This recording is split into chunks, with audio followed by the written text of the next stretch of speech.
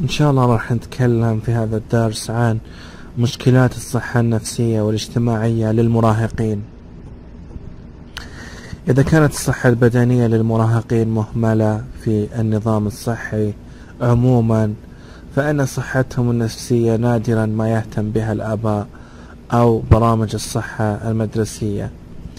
أيضا تتضمن المشاكل النفسية للمراهق.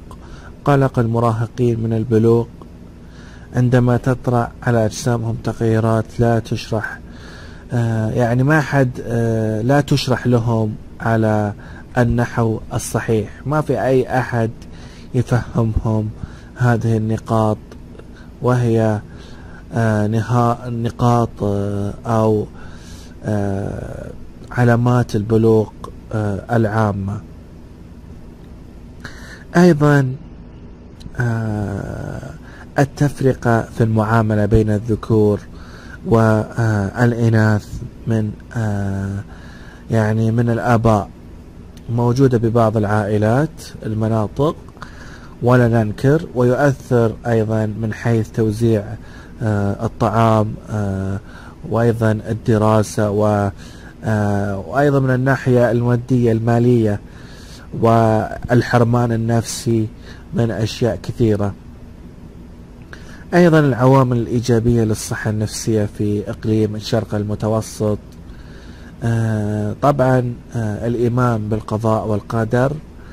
آه الإيمان بالقضاء والقدر بقدرة الله سبحانه وتعالى على الشفاء مثلا وعلى الحفاظ على النفس وعلى حفظ النفس من المصائب. وقلة انتشار أنواع الفساد وأيضا العوامل الأخلاقية مثل المخدرات والمسكرات والشذوذ والمشاكل الأخلاقية كلها يعني غير منتشرة بنسبة كبيرة جدا. والجدير بالذكر أن هذه المشاكل عامة على مستوى الأقاليم في الكوكب بس في نسبة تواجدها في الشرق الأوسط نسبتها قليلة جدا.